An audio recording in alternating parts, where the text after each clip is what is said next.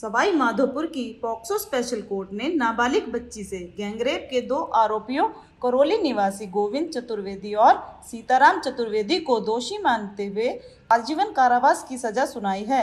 इसके साथ ही न्यायालय ने दोनों आरोपियों को अस्सी अस्सी हज़ार के अर्थदंड से दंडित किया है। विशिष्ट लोक अभियोजक अनिल कुमार जैन ने बताया कि आरोपियों ने 5 अप्रैल 2021 को नाबालिग का अपहरण कर सामूहिक दुष्कर्म की वारदात को अंजाम दिया था। नमस्कार, बने रहिए राष्ट्र खबर सिर्फ़ सच के साथ।